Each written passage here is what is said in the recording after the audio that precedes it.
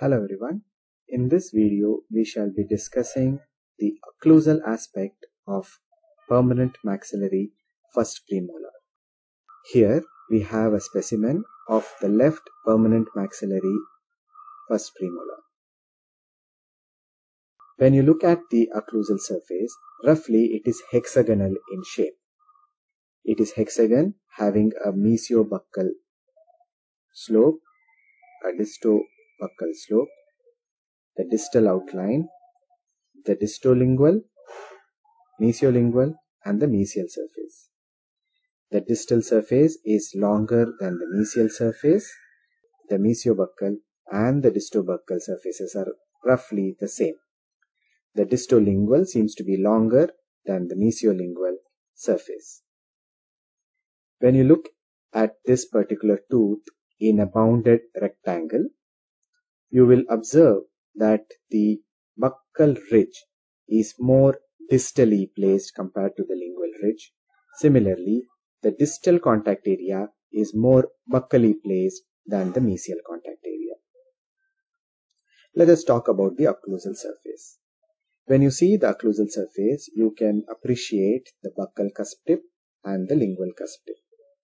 The buccal cusp tip is formed by the mesial cusp ridge and the distal cusp ridge.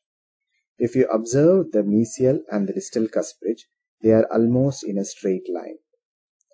This straight line is such that the distal cusp ridge is more buccally placed than the mesial cusp ridge.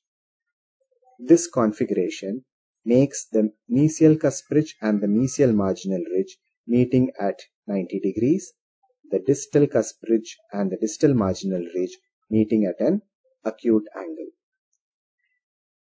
Coming on to the lingual cusp, the lingual cusp is a little more sharper and the mesial and the distal cusp ridge of the lingual cusp, they form a continuation to form a semicircular lingual outline. When you look at the occlusal surface, you observe a developmental groove in the center. This is called as the central developmental groove, which extends mesiodistally in the middle of the buccolingual dimension of the occlusal surface. This groove forms a smiley, which also continues as a small groove crossing the mesial marginal ridge.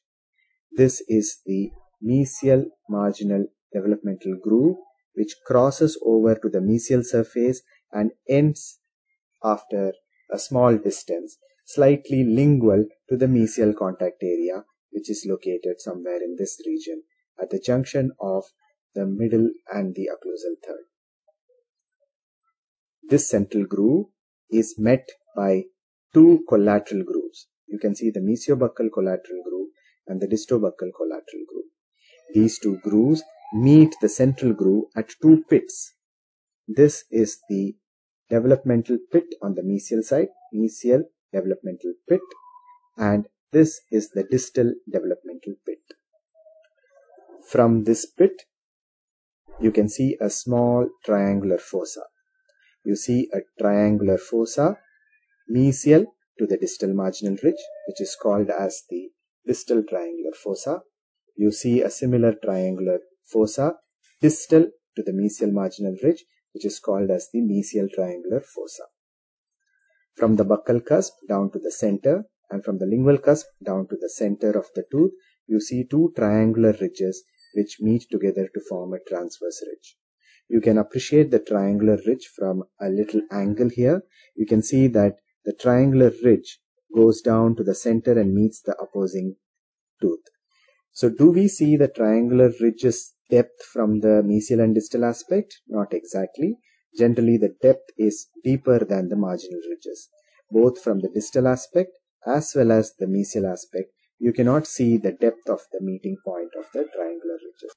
Also, another important point is more of the buccal surface is seen from the occlusal aspect. This may be because the buccal cusp tip is more inward placed than the lingual cusp tip. If you look at the specimen, the buccal cusp tip is in line with the tip of the buccal root. The lingual cusp on the other hand, is in line with the lingual border of the lingual root. This configuration makes more of the buccal surface visible from the occlusal aspect than the lingual surface. These are the features of the occlusal aspect of the permanent maxillary first premolar.